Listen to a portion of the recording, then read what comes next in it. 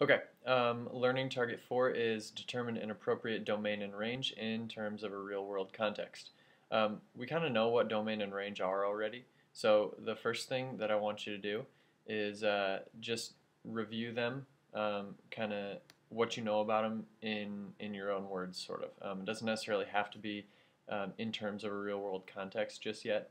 Um, but go ahead and just write down what you know already, and then we'll kind of come together um, and I'll give you my thoughts as well. So go ahead and hit pause.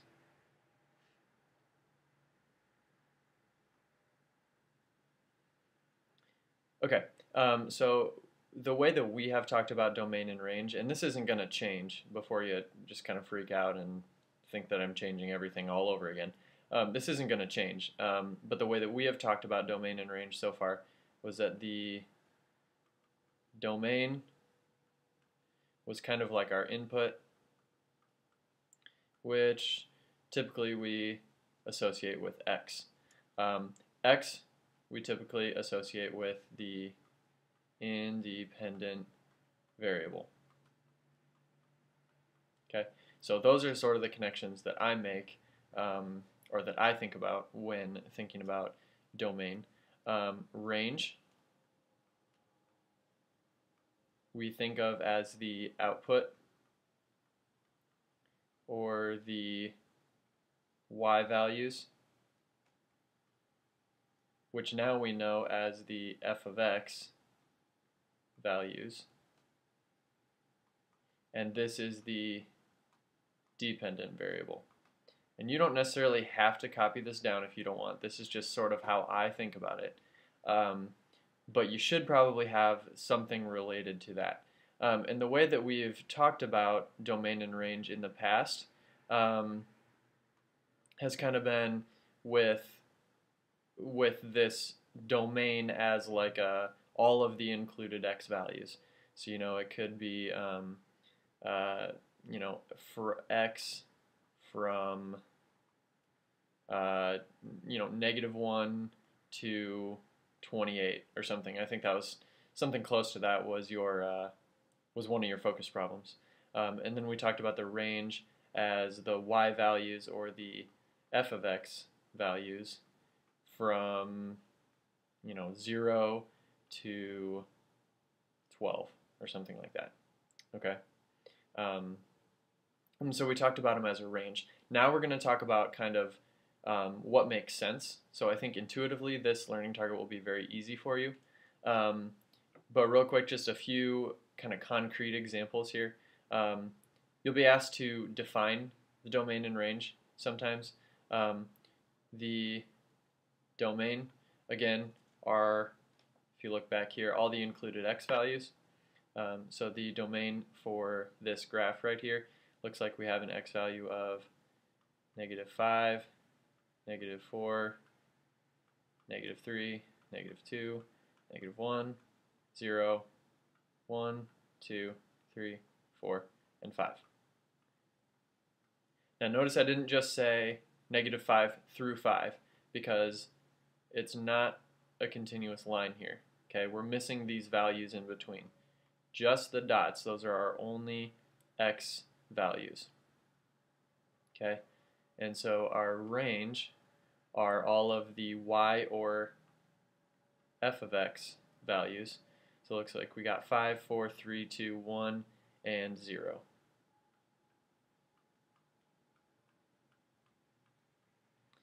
And nothing below that, nothing above that, nothing in between. We don't have like a 2 point, you know, 2.5 or something right here. Okay, it's not included. All right. Um, the domain and range of this next one over here.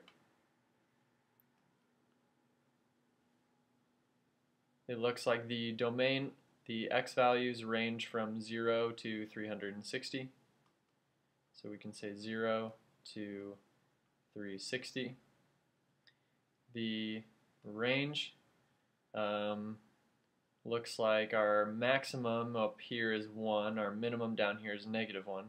So we can say negative 1 to 1. And again, I'm including this as um, all-inclusive. all x values from 0 to 360, all y values or f of x values from negative 1 to 1. All of those are included because this is a continuous line. On C over here, um, we have these arrows on the ends, which means that technically this line stretches out forever.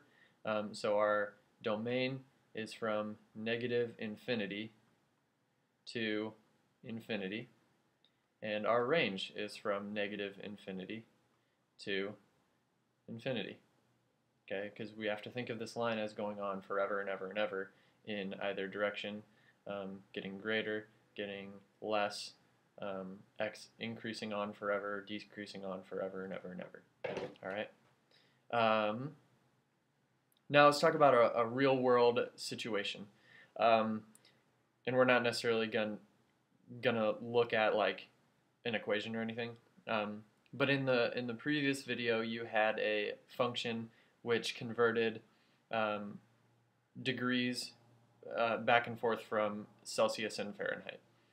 Um, we're going to kind of just use some number sense and come up with what an appropriate domain and range might be in terms of this context.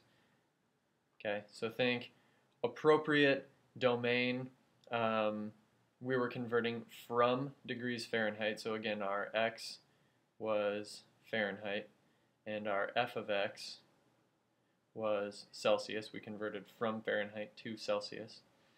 Um, and that's what our function did. It took Fahrenheit and spit out Celsius. So our domain would be all of the appropriate Fahrenheit values. Okay, if we're talking about um, the weather outside, you know, we don't and I'm being very generous here, but we really don't get anywhere below like negative 30. Okay, um, at least I I sincerely hope I never see any temperature below that. Um, at the same time, we never really get above 120. Um, at least I hope not. So, I, again, I'm being generous, but that would be an appropriate domain. Okay, if you were going to make a graph of this, you wouldn't you would never put an x value less than less than negative 30. There'd be no point in graphing that. Um, so that's why we're talking about some kind of number sense here. Appropriate domain. Um, you kind of have to think realistically. Talking about an appropriate range. Um, so we're looking at appropriate Celsius values. Um, we could maybe go as low as, as negative 30 or so. That's extremely cold, but um, you know, again, being generous, we could maybe go as low as negative 30. Um, on the upper end is where we see a big difference. 120, you know, converts to about 50 or so um, Celsius. So we're never we're never gonna get much hotter than that. That's that's pretty hot um, Celsius.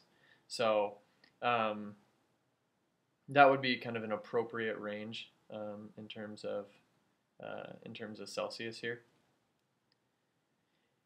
The before class um, tells you to define uh, an appropriate, and I'll add that word in there, appropriate domain and range for the following functions. If this is your independent variable, in other words, hours spent studying, that is your x, that's your domain. The dependent variable, that's your f of x, that's your range. Okay, so think about a realistic um, domain for hours spent studying and a realistic range for score earned on a test. Um, same over here for an appropriate uh, domain for t-shirts sold, an appropriate range for profit. And there is a little note here that says the um, startup costs for the business were $500. Um, in other words, the business had to pay $500 uh, right off the bat for, for all these startup costs.